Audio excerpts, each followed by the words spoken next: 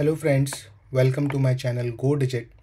Today in this video we will learn about one function which is available in the AL language through which we can while writing the code only can get an idea about that what the type of client the user is using and based on that we can take certain decisions or I could say an actions in our code right? So as we know that uh, business central uh, is not only limited to the web only uh, like this is the web client right now which you can see in my screen but we can run the business central on phone also on tablet also even on microsoft teams as well right? So there are various types of uh, clients available in which user can uh, run the business central and use the processes of the uh, business central right? So first of all uh, for example this is the web client i have opened up. Now let me copy this link and let me open the tablet view of this web client. Okay so to open the tablet view what we have to do is that we have to type the same url which uh, we type in the to run the web client but after that we have to add one keyword called tablet and then it will open the business central in a tablet view. Right? As you can see that this is a tablet view. In case uh, if you are uh, if you hold any tablet and download the business central app then it will open uh, in that view. Right? As you can see it is very much different uh, from the this web client view. Right? And this this is how you can test your applications as well. Uh, like how uh, user will have a seamless experience with your application in different views right? So uh, meanwhile let me show you uh, from the phone angle as well like how it will view and if you type the phone. So you just have to add the phone keyword after the url and it will open the phone layout for you in the business central right? So this is the phone layout. As you can see I can open the customer. So this is the phone view. I can go back plus to create new customer and so on. So you can see that three uh, different views we are currently seeing on the for the business central in the web browser only.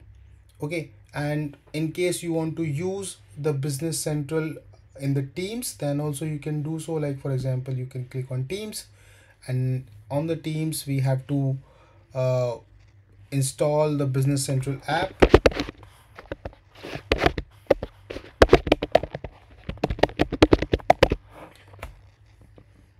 And then uh, we can start accessing the business central right from the teams itself right? Now the point is that how uh, like uh, in through the code perspective what type of functions are available in which I can differentiate between my different uh, clients and run my code accordingly. So to do that or to check that, let me uh, go to the VS Code and this is our extension and let's start uh, writing the code itself directly. So first of all, let me create a variable because there are two ways through which we can use this function So there is a standard code unit from the system application called client type management, right?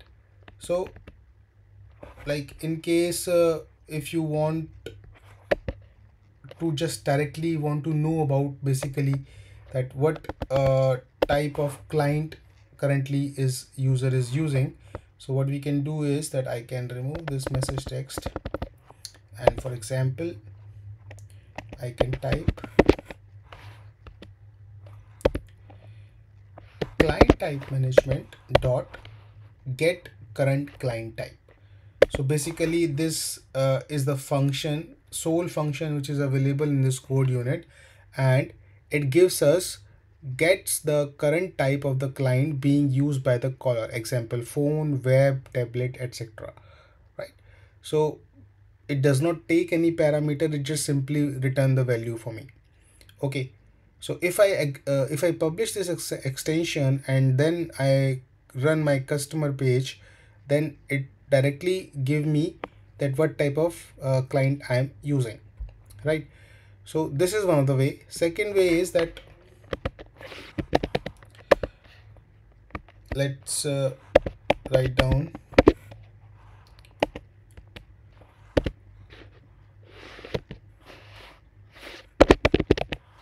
current client type right? So this is also a standard function right away which I can directly use and it will also give me the same result which this unit function will give me right? So we will see the output when I publish this. So based on if you uh, like do not want to create a separate variable for it because there is no need to. You can directly use this function and I will show you the output will same. Okay now uh, the point is that because uh, sometimes uh, we uh, uh, we in in the company we give the password we, we we create the users for the external accountants as well or for certain uh, marketing users or any type of user who whom we don't want to give the full access but uh, also uh, whatever access they have we don't want that they can uh, or we want to limit their access right? Or any scenario can come. So on those scenarios where you want to take the decisions based on that what type of client user is using we can make the use of these functions and uh, by adding the if condition we can allow or disallow them accordingly. So for example let's say uh, if the current client type is equals to current client type dot dot and then you can see the different types of values right? Which have the soap tablet teams web windows api background. So so many values available based on uh, whatever uh, way the way of uh, you, you are using the business central. So you can add the if condition accordingly and then you can add the errors. You can add uh, your further code which you want to write accordingly. So let me uh, try to do that. For example uh, if the current client type is phone then inform me that uh, okay let me give the error. Just to you cannot run this on. Okay or like let's copy this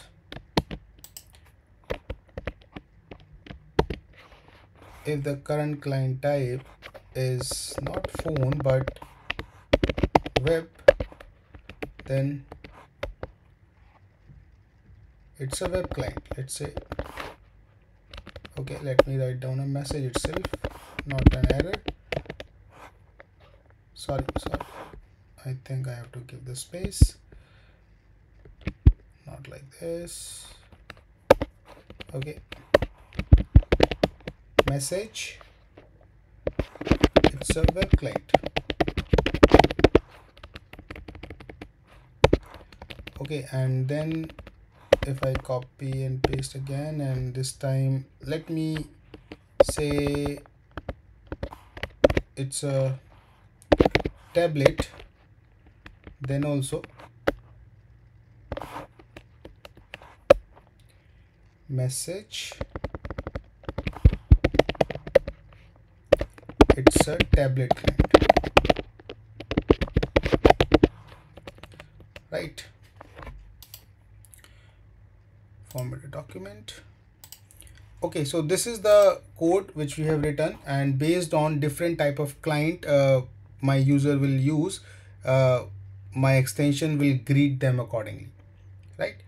So let's what we can do is build this and publish this.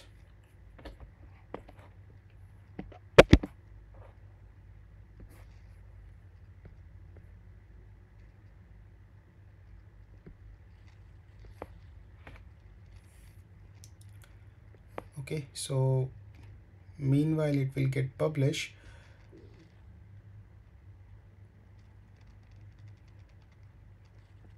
I will see if we can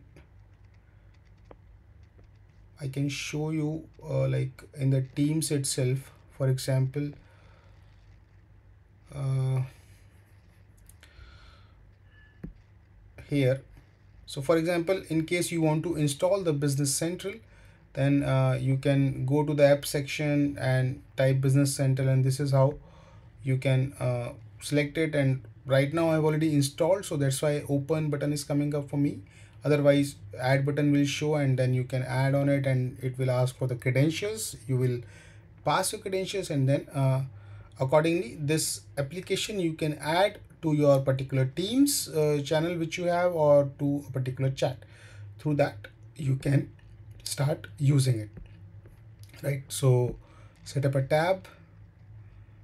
And now it is signing up for me. So the pop-up might block. Okay preferences allow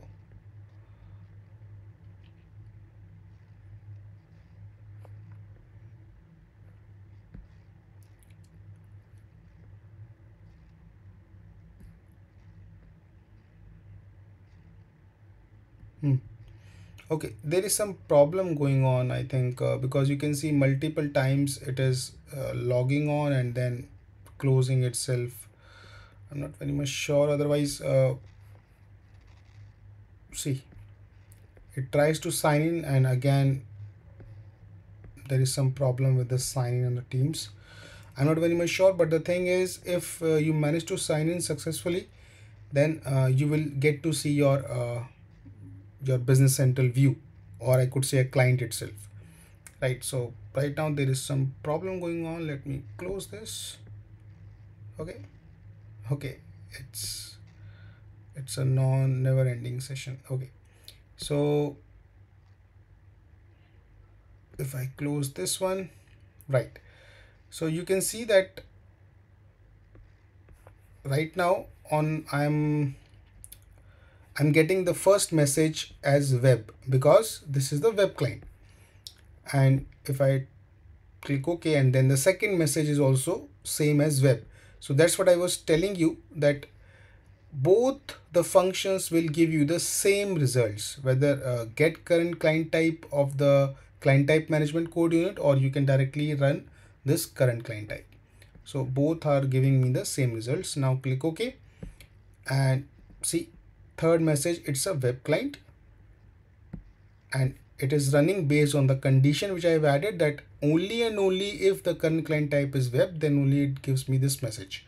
Right so let's see uh, the these functions how it will behave uh, how they will they all behave during uh, the tablet view and the phone view. Right so let's copy this URL and paste this. Let me type tablet here and in the second tab let me type phone.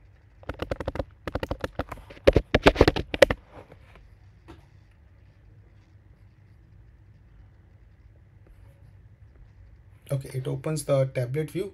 Now if I click on customers so you can see that I'm getting the result as tablet which is different uh, from when we saw it in the web client right? So first is tablet second is tablet then it's a tablet client right? So i'm using the business central on the tablet itself. I think i've typed the wrong url let me see again.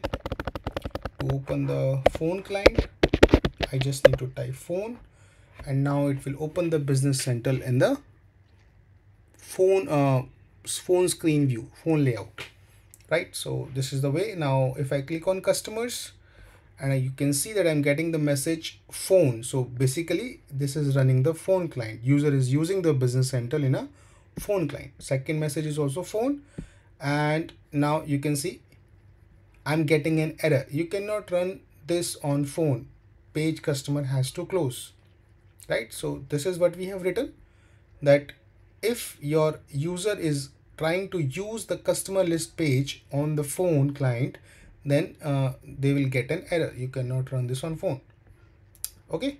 So that's the way that's how we can make the use of these functions and write our code accordingly to accommodate the certain scenarios where we don't want user uh, to use our functionalities on certain client itself. So this is very uh, these functions are very good from the uh, test scenarios perspective if you are writing ATDDs uh, for your uh, for your applications accordingly as well. Okay so with that note uh, I think uh, I'm done with today's video. If you like it please hit the like button and please subscribe to my channel. Thank you so much for watching this video